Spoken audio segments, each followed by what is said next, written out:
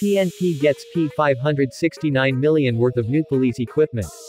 The Philippines National Police bolsters its modernization program under PNP PATROL.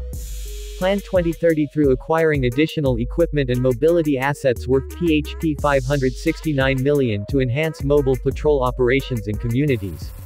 The PNP received a new batch of delivered vehicles, rifles and radios as part of its continued effort to modernize its force.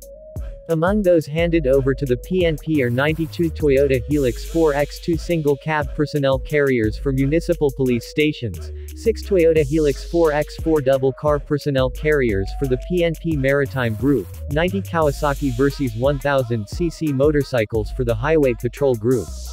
7,700 units IWI Galil Ace N21 5.56 by 45 mm rifles for mobile forces in high-risk police areas, and 434 units Hytera handheld radios for the National Capital Region Command.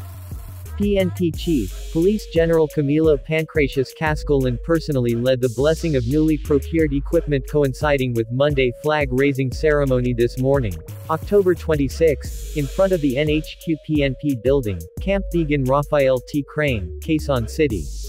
This will be our response to the instructions of President Rodrigo R. Duterte to address the increasing crime incidents involving motorcycle riding suspects, he added. The mobile forces and high-risk police stations will be the end users of the 7,700 units Galil Ace 5.56mm basic assault rifle while the 434 units digital handheld radio will be given to the National Capital Regional Police Office.